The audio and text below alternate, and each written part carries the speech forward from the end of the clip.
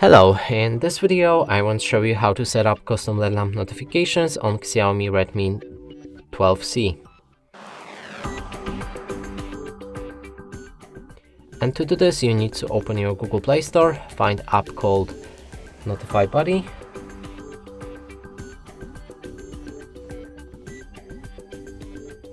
Install it. When it's ready you can open the app move to the next step and grant three permissions.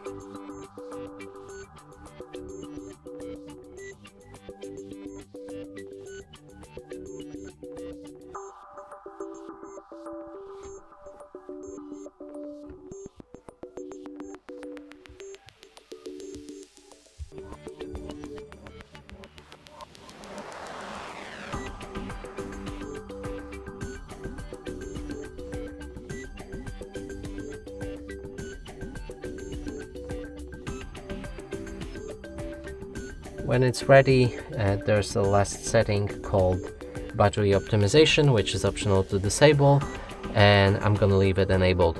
Let's proceed. From here you can start using your app. There's four tabs, user, system, active and settings. In user you can pick any apps to allow for a custom LED notifications. In system you can find all system bound apps. In active there's all apps that we've just activated and in the settings you can change anything about your LED lamp, like a size, shape or placement on the screen. There's also ads as you can see. I'm gonna skip it and click on the test button to see the LED lamp right there.